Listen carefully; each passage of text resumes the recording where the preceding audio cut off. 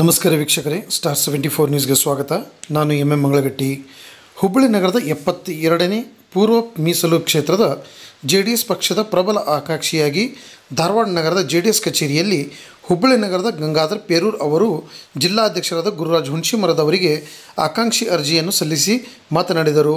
ನನ್ನನ್ನು ಪಕ್ಷದ ಮುಖಂಡರು ಆಶೀರ್ವಾದಿಸುತ್ತಾರೆ ಎಂದು ಆಶಯ ವ್ಯಕ್ತಪಡಿಸಿದರು.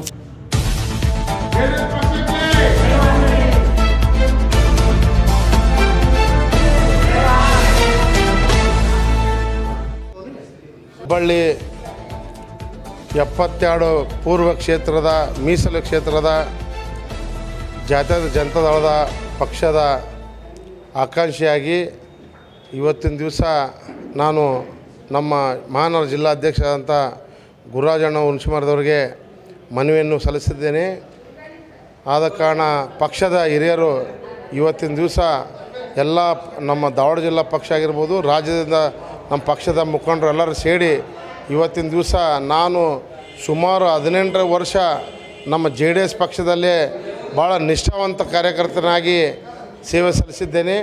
ಮತ್ತು ನನ್ನ ಸಂಘಟನೆ ಮುಖಾಂತರ ಹುಬ್ಬಳ್ಳಿ ಶಹರದಲ್ಲಿ ಇವತ್ತು ಅಲ್ಪಸಂಖ್ಯಾತರ ಓಟು ಹೆಚ್ಚಿನ ಪ್ರಮಾಣದಲ್ಲಿದ್ದು, ಆ ನ ಇಡೀ ನನ್ನ ಜೀವನ, ಇಡೀ ನನ್ನ ಕೆಲಸ ಕಾರ್ಯಗಳು, ಇಡೀ ನನ್ನ ಒಡನಾಟ ಇಡೀ ಹುಬ್ಬಳ್ಳಿ ಅಲ್ಪಸಂಖ್ಯಾತರ ಜೋಡಿ ಇರುವುದರಿಂದ ಇವತ್ತಿನ ದಿವಸ ನಮ್ಮ ಮಾದಿಗ ಸಮಾಜ ಒಟ್ಟು ಓಟು ಕೂಡ ನಲವತ್ತು ಸಾವಿರ ಮೇಲೆ ಇರುವುದರಿಂದ ಮತ್ತು ಅಲ್ಪಸಂಖ್ಯಾತರ ಓಟು ಕೂಡ ನನಗೆ ಮತ್ತು ಇತರೆ ಸಮಾಜ ಓಟು ಕೂಡ ನನಗೆ ಎಲ್ಲ ಜನ, ಜನಗಳು ನನಗೆ ನನ್ನನ್ನು ಭಾಳ ಆತ್ಮೀಯದಿಂದ ಭಾಳ ಒಂದು ನೀನು ನಿಂತರೆ ನಾವು ಬಹುಮತದಿಂದ ಆರಿಸಿ ಬರುವತ್ತೆ ಬರ್ತೀವಿ, ನಿನ್ನಿಂದ ನಾವು ಇದ್ದೇವೆ ಅಂತೇಳಿ ಇವತ್ತಿನ ದಿವಸ ಹುಬ್ಬಳ್ಳಿ ಶಹರದ ಪೂರ್ವ ಕ್ಷೇತ್ರದ ಎಲ್ಲ ನನ್ನ ಆತ್ಮೀಯರು, ಗುರಿ ಹಿರಿಯರು, ಅಕ್ಕ ತಂಗಿಯರು ಎಲ್ಲರೂ ಕೂಡಿ ನನ್ನನ್ನು ಇವತ್ತು ಆರಿಸ್ತರಲಿಕ್ಕೆ ಪಣ ತೊಟ್ಟಿದ್ದಾರೆ.